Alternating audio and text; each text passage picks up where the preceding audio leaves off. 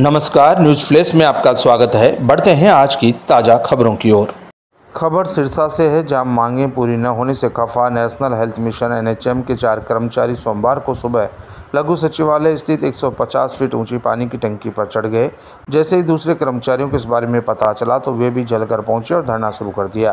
कर्मचारियों के पानी की टंकी पर चढ़ने की सूचना के बाद पुलिस की टीम मौके पर पहुँची। मौके पर फायर ब्रिगेड और एंबुलेंस को भी बुलाया गया है। आपको बता दें कि एक दिन पहले सिरसा में एनएचएम कर्मचारियों ने मुख्यमंत्री नायब सिंह सैनी के नाम खून से पत्र लिखकर मांगे पूरी करने की अपील की थी। पानी की टंकी पर चढ़े यूनियन के जिला प्रधान कुंदन गावड़िया ने वीडियो जारी कर कहा कि हरियाणा के सोलह हज़ार कर्मचारी पिछले दस दिन से मांगों को लेकर धरना दे रहे हैं। ग्यारहवें दिन सोमवार सुबह करीब दो बजे वे चार कर्मचारी पानी की टंकी पर चढ़ गए। वह जब तक नीचे नहीं उतरेंगे, जब तक उन्हें पक्का नहीं किया जाता। गौरतलब है कि एनएचएम कर्मचारी पिछले काफ़ी सालों से स्वास्थ्य विभाग में सेवाएँ दे रहे हैं। इसके बावजूद भी सरकार उनकी मांगों की ओर ध्यान नहीं दे रही।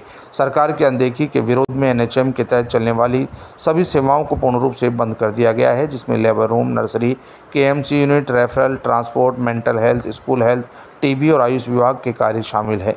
गावड़िया ने कहा कि एनएचएम कर्मचारियों को पक्का कर्मचारी घोषित किया जाए, सातवें वेतनमान का लाभ दिया जाए, सर्विस रूल के साथ कोई छेड़छाड़ न की जाए, केसलेस मेडिकल सुविधा दी जाए, एलटीसी ग्रेचुटी और एक्स ग्रेसिया पॉलिसी का लाभ दिया जाए।